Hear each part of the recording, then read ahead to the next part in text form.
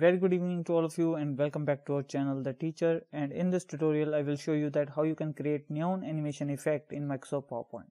You might already have seen a lot of neon animation on YouTube where people use After Effects, Adobe Illustrator or Photoshop to create this neon animation and as you can see the examples here and you can also apply this neon animation on the objects and even on the videos. So let's get started. And first of all I would like to tell you about the clipartmania.com as in the previous video I have talked about freepik.com from where you can download thousands of vector files for free. And this is another site from where I have downloaded this Nataraj Lord Shiva form vector file. And you can find hundreds of thousands of files here and you can download and can use them inside PowerPoint for free. But one thing I would like to tell you about first that if you have not watched my previous video that how you can convert AI or EPS file formats to SVG. The SVG stands for Scalable Vector Graphics and Microsoft PowerPoint support that vector file. So let's say if I download this Nataraj form Lord Shiva and then it is in a compressed form. So I will right click on it and choose extract to folder name if now I open this folder, then you can see that this file is in EPS format. If I right click on it and choose property, and here you can see the file type that is dot .eps.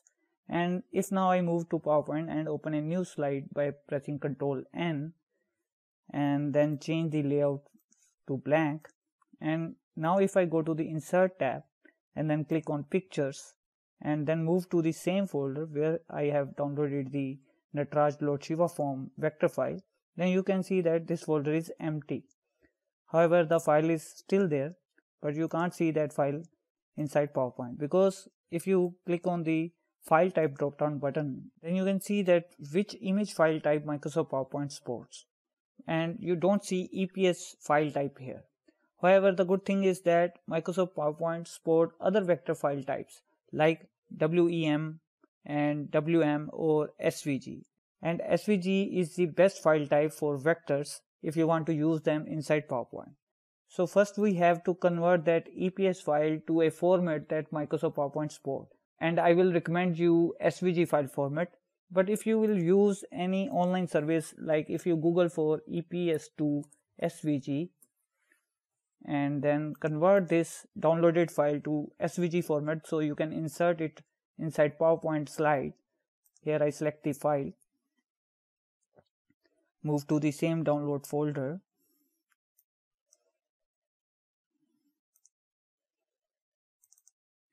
and choose the file and then I set SVG as a conversion format and then click on convert.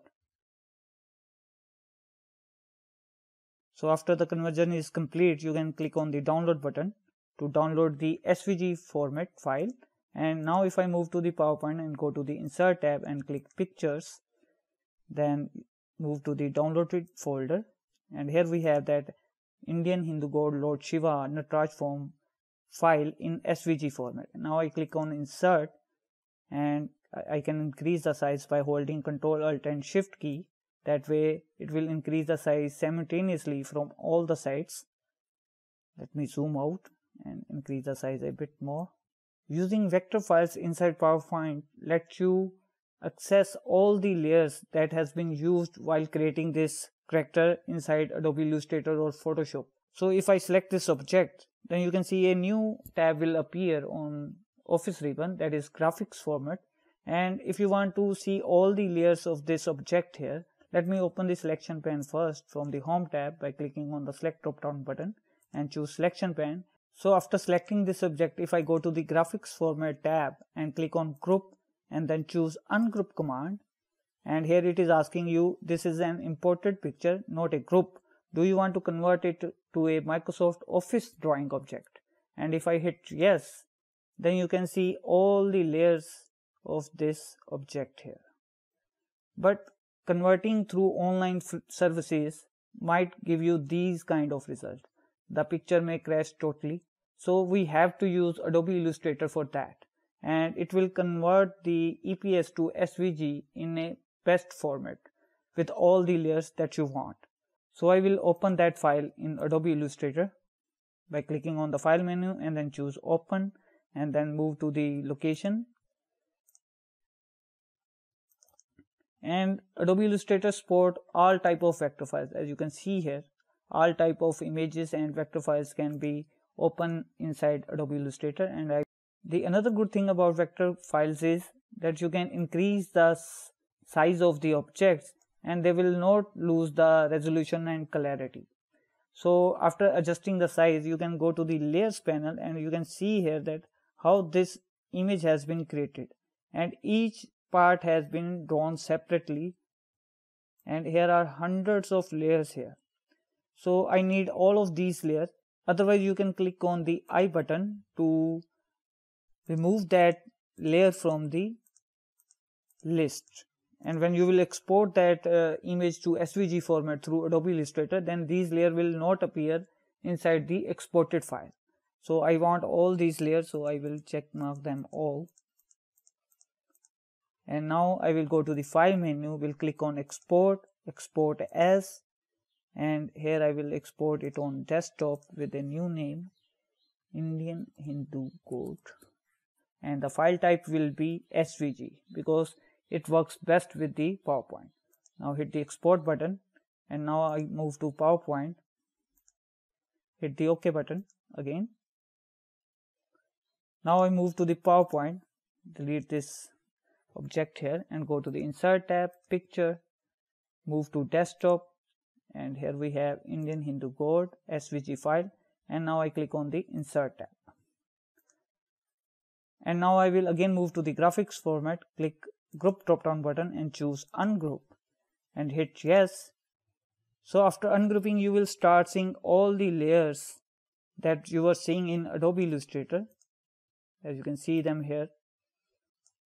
You will get all the layers intact inside PowerPoint if you use SVG file format through Adobe Illustrator. As all these layers are still inside a single group, so if you will select this object, then it is it will still be assumed as a single object. So once you use the ungroup command, then the graphics format tab will disappear and then you will start seeing the shape format tab instead of graphics format. That is because it will convert all the Adobe Illustrator layers into the freeform shape. So to select and use each of the layer, you again have to go to the shape format, then click on the group drop down button and choose the ungroup command once again so that the that particular group will get disappear and now you have each layer as a separate layer and you can select any of the layer by clicking on the object and then you can do whatever you want to do with this object. So what I did, I followed all these steps to get this Nataraj form inside PowerPoint and after ungrouping all the layers, I start selecting each layer individually by holding the shift key and like this and then I group these layers as a single object. I want to create a bow separately so I selected all the layers that are available inside the bow and then group them together. Then I name them. Naming the object is very important because later you can easily identify and select the object through the selection pane. So I name it bow and using the same method I created all these separate layers here. So if I change the background color, right click on an empty area of your slide, go to the format background and I here I will apply a solid fill to white and if I now show you each of the object like I have selected this one and that is a crown object which is which include so many of these layers. So I selected each layer individually. However this is a complicated object here we have and which consists hundreds of layers. So it took me a lot of time to adjust and name and group all the layers separately. So once you have your character ready, then you, you can easily apply the neon animation effect on them. So if I expand this thumbnail view here, then you can see that this neon animation has been created on 50 slides. And if I open the animation pane, as you can see here, no animation effect has been used on any of the slide. first of all i would like to tell you about that how you can insert the music and you can see here that i have inserted the music on the very first slide let me delete this music here and i will again insert that music file. Go to the insert tab click on the audio drop down button and choose audio on my pc click insert. Move that icon to the bottom. And you can also make a check mark on hide during show inside the playback tab. That way it will not show you the that icon sound icon if even if you place it on the slide. During the slideshow this icon will get disappear because of this hide during show option even then i will place it on the bottom and then you can use the trim audio command if you want to move, remove a specific part of the music so i want to start it from the beginning but i want to end it at 10 seconds and hit the OK key and I want to play this audio across slides. So I will also make a check mark on play across slides. That way it will get played for 10 seconds but as the transition timing has been given on each slide as you can see here in the transition tab I have applied a 0.10 seconds transition timing to this slide and if I move to the next one then you can see that on most of the slide I am using 0.10 seconds timing. I want that during slideshow it starts showing you each slide for a very short duration that is 0.10 seconds. So once you have the object and the music and the text then you can duplicate this slide by right clicking on it and then choose duplicate slide like this. And on the second slide what I did I just selected this bow object and then go to the shape format and then simply I change the fill color and the glow options. Then apply a glow option on it to make it shine from rest of the gray objects so that is a very simple technique where you place a dark background and on top of it you place shining glowing text on top of it so I am using the same technique where I on the very second slide I change the bow color and this text color here. Then I repeated the same steps to create more duplicate slides and on each of the slide as you can see here I started changing the fill color and glow option of different objects.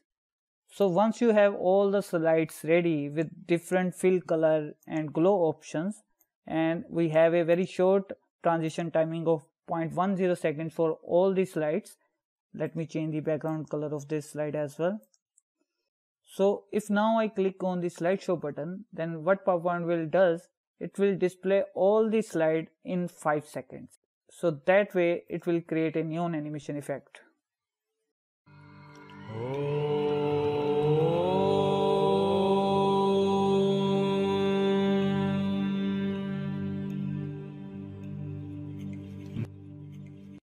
So during the slideshow, what it was doing, it was just forwarding to the next slide. And when it forwards with a very fast speed, then it automatically creates a neon animation effect. So using this technique, you can animate any kind of object or text. As you can download these kind of clip arts here, as we have this Lord Krishna vector file. You can download this file, can convert this to SVG format and then can group and ungroup layers as you want them and later you can apply fill and glow options on different slides uh, with a very short duration and when you will play the slideshow it will automatically create the neon animation effect. So I hope you will like this tutorial let me know by liking sharing and commenting on this video and don't forget to subscribe to our channel for more upcoming tutorial videos. Thanks for watching and have a wonderful day.